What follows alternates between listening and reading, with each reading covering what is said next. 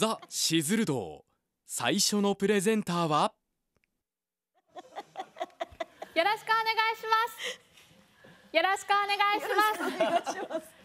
よろしくお願いします。えらいえらいフレッシ新人アナウンサーがしずる堂初挑戦 RBC 入社1年目大坪沙織です。好きなことはお腹いっぱい食べること。座右の銘は Love the life you live, live the life you love, Bob Mary。意外な意外な人物負ける気はしないです。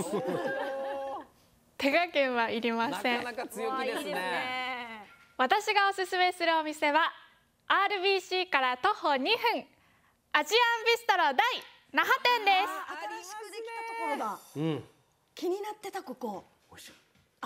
琉球放送を正面にまずは左折。駐車場がこっち来る間にあるのよね。大西駐車場前を右折そうそうそしてすぐ左折すると到着。あるあるある。今日も去年七7月にオープンしたアジアンビストロ大那覇店アットホームな空間で味わえるのはタイベトナムシンガポールなどアジア各国の本格エスニック料理。スパイスがねあるから。店主は15年以上イタリア料理店で腕を振るっていた与那覇店長。使い慣れない食材が多いのとあと調味料をあのイタリアンって基本塩とかで味を決めるのがそこからソースを作るんですけど調味料を使ってソースを作ることとかそういうのは全然もう難しかったです。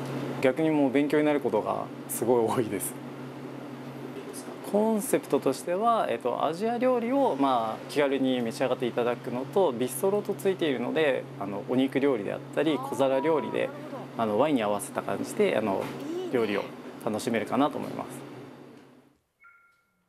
はい。実は第3は東京神奈川にも店舗があるんですけれども私の通っていた大学の近くにあってよくそちらに訪れていました私の大好きな第3が沖縄にはなかったんですけど7月にオープンしたので私を追っかけてきてくれたのかなって 運命を感じました。あー、そうだね、よかったね。そんな大坪アナおすすめのメニューは？今ギリギリのラインに私がおすすめする料理は鶏肉とナスのグリーンカレーです。いいねグリーンカレー美味しいよね。かなりスパイシーなグリーンカレーなんですけれどもその辛さの中にあるココナッツミルクのまろやかさがとっても美味しいんです。グリーンカレーベース作りのこだわり。材料はオリジナルの辛めのカレーペーストにタイのバジルや柑橘の爽やかな香りのバイマックルー。ココナッツシュガーナムタンピが欠かせない。全然聞いたことないのばっかり。まずは弱火でニンニクと赤玉ねぎを炒めていく。通常の玉ねぎよりも玉ねぎ臭さが少ないので、まあ、よりまろやかな感じに仕上がるかなと思います。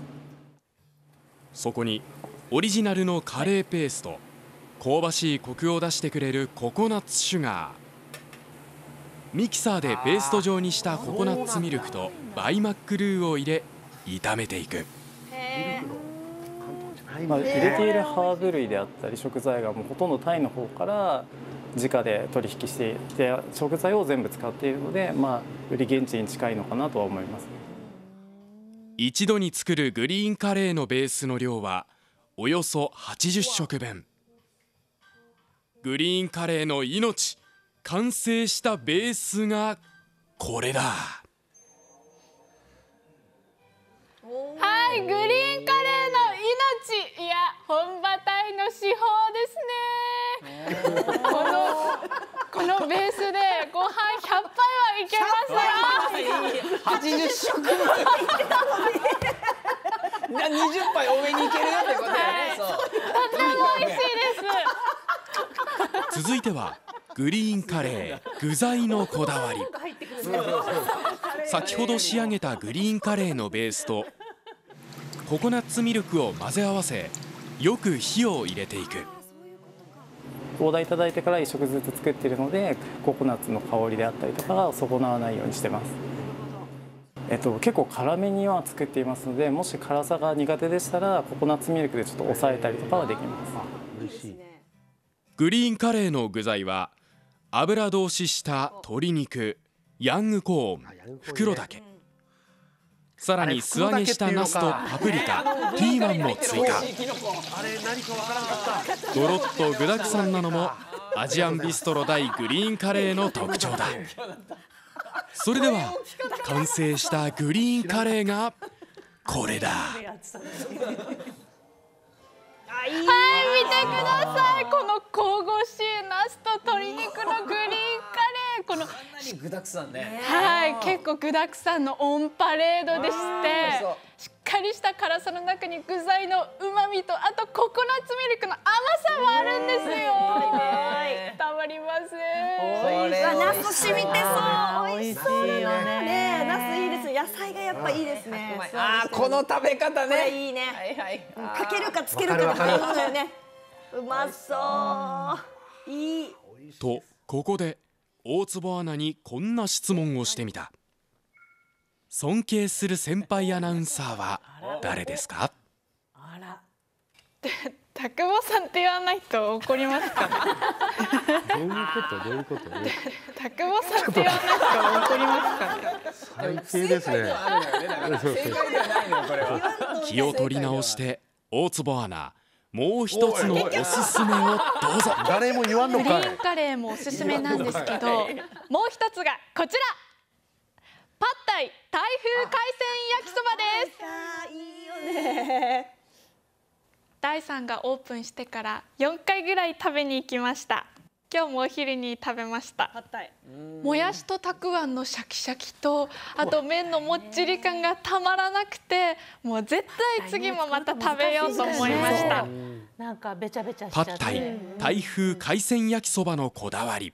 確かに作り方あんま見たことない。材料は米の麺ライスヌードルもやしたくあんエビとイカの海鮮に厚揚げ豆腐など。そして味の決め手となるのが6種類の調味料をブレンドしたパッタイ専用ソース。まずはエビとイカを揚げていく最初にエビとイカをこう揚げるんですけども油通しの時に高温からやっちゃうと身が締まって硬くなっちゃうので低温から高温に上がっていって柔らかく仕上げるようにします。ねね。続いて卵焼きを作りライスヌードルもやしたくあんを入れ炒めパッタイ専用ソースを加えていく火入れすぎるとまたねもやしのシャキシャキいかにあの麺自体にもやしの水分とソースを吸わせてでより柔らかくさせていくのでそう鍋肌に、えっと、もやしと麺を当てつけてその熱と水分の蒸気で麺を戻していくイメージでやってます。複雑。ね本当。さあアジアンビストロ大のこだわりのパッタイがこれだ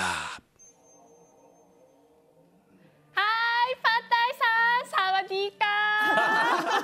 もうね、このお酢とレモンの酸味と、あとナンプラーもかかってまして。本当にもう魚介類の旨味がすごいんですよ。いやいもうたくあんも入ってるので、シャキシャキ感もあって。麺はもっちりで食感が楽しいです。ふるさとです。学生時代にいろいろな思いを持ってあの悲しい時も嬉しい時もいろいろな時も第三の料理を食べて思いを馳せていたので実家が徒歩2分にできたみたいで嬉しいです。コメントが 最後に与那覇店長から大坪アナへメッセージえー僕たち大も沖縄に来てまだまだ新人ですのでぜひ一緒に沖縄を盛り上げていきましょう。よろしくお願いします。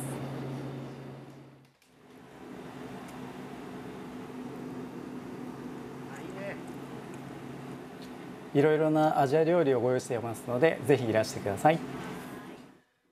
大坪アナおすすめ。アジアンビストロ大のスパイシーな鶏肉とナスのグリーンカレーともちもち食感がたまらないパッタイ台風海鮮焼きそば。